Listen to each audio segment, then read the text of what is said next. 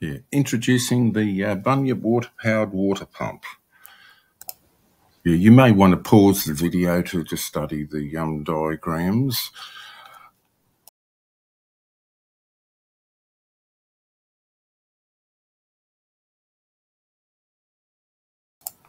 Yeah.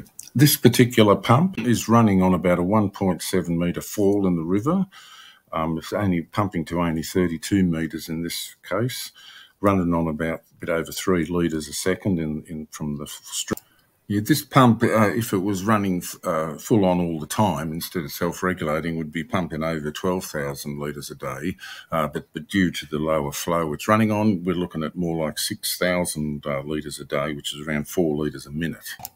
Yeah, this pump uh, demonstrates it's um, one of the most unique uh, aspects of this pump. Its um, self-regulating ability. You see the way it, um, yeah, you can see the way it stops and actually waits for the water to catch up again. Yeah, you, you'll see on the diagram what's going on in that regard.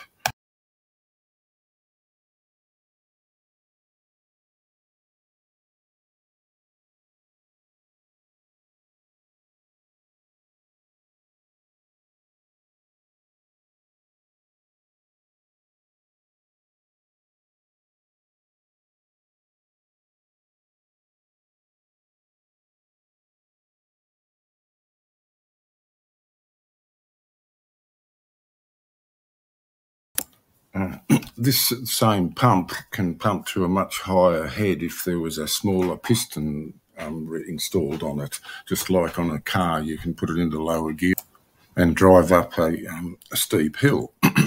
um, we recently have now a, a um, we can now uh, pump to 400 meters. We've just beefed it up with a steel pump chamber and etc. etc.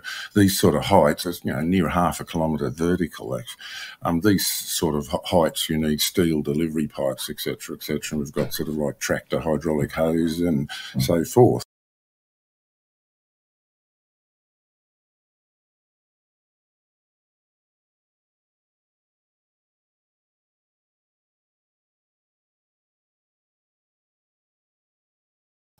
Yeah, please note that um, the videoing uh, very much distorts um, the, like the length of this big uh, supply pipe. It's actually only 16 metres long. Yeah, hope you enjoyed the video. There are numerous other um, videos on YouTube uh, showing different uh, installations.